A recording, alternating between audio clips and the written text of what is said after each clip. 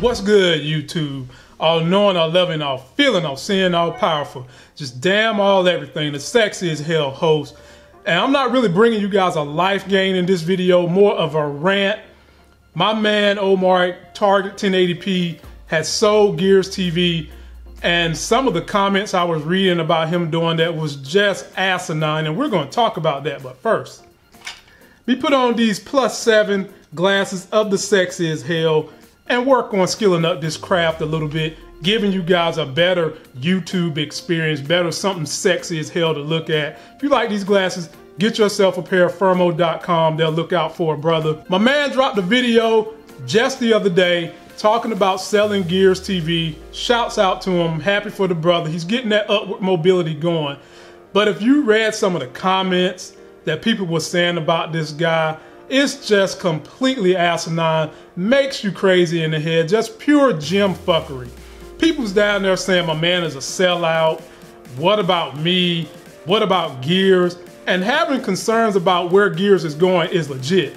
But to get on my man for being a true entrepreneur when he risked everything some years ago to bring you guys a great underground IPTV service to challenge the mainstream marketplace and give you quality it's just nuts. He risked his, he risked everything, family, put life on the line, put house on the line to bring and pioneer one of the three best IPTV services out there. I enjoy Gears, Streams TV with my man Taylor Todd, Nitro, my man Touchtone over there. All were three great pioneers before we ever heard of this set TV shit.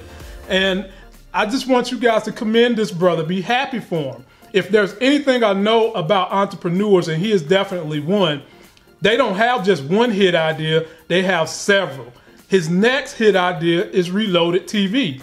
I guarantee that's going to be everything Gears was and then some, and it's going to continue to be a big brand to build upon and bring you guys great service.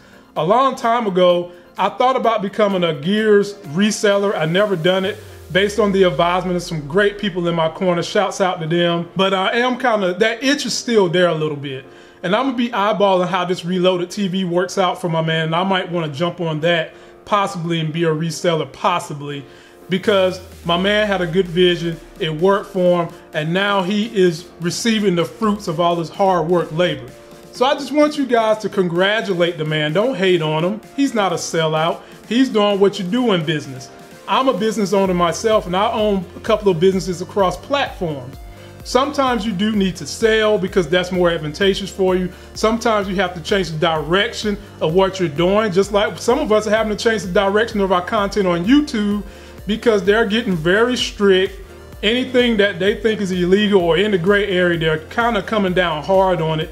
And so at times you do have to reinvent yourself as an entrepreneur, and that's exactly what he's doing. So I would just say we're gonna follow Reloaded TV. We're gonna wish my man well, and I'm gonna test it out and let you guys know how it works. But I'm sure it's gonna be just like Gears was. And when I get my hands on it, you guys will be the first to know. That's gonna do it for this video. Don't forget to like my video, comment, and subscribe. Go out there, get yourself a life gain. Let's celebrate these entrepreneurs that take risks and in this one, it was a big damn risk.